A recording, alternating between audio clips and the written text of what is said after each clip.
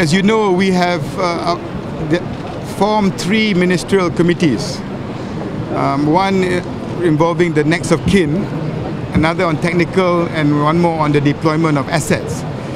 Uh, on behalf of the Committee on Assets, uh, I would like to announce that we have deployed one more vessel from Malaysia, uh, the Bunga Mas 6, which is uh, um, an auxiliary vessel uh, on the way uh, to um, Perth.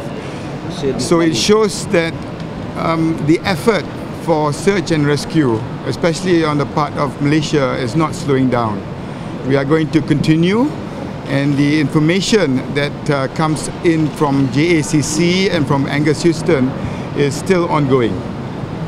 Secondly, um, I've also arranged for the um, um, reports and also updates regarding the three committees uh, to be distributed to the press uh, frequently. And as you know, the three deputy ministers are, are leading these committees.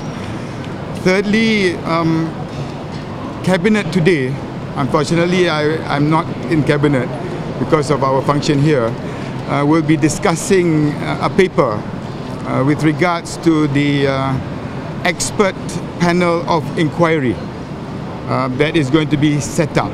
This is a part of ongoing process for transparency um, to show to the world that actually Malaysia does not have anything uh, to, to, to hide uh, in respect of MH370. But let these committees, these inquiries uh, continue so that the, the work at hand at the moment, which is the search and rescue, which is uh, even a more complex uh, phase that we are going through underwater, um, continues.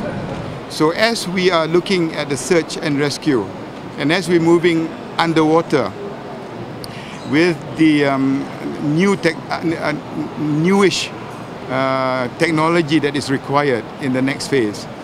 Parallel uh, arrangements on, on the law, on the committees, on the experts, that has been going on. And I'm, I'm very proud to say that these committees have had many, many meetings, nearly every day actually. And um, that we have done very quietly without any fanfare.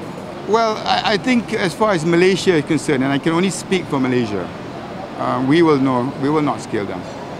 And this is a promise that I made to the families of the passengers and we will continue. Um, but as we move forward, um, and there might be occasions where some of the countries might want to scale down, there are other countries that have come forward. And we just have to find creative ways uh, to, to do that. We have friends in the Middle East who wants to assist, but they do not have the assets uh, to be of direct assistance.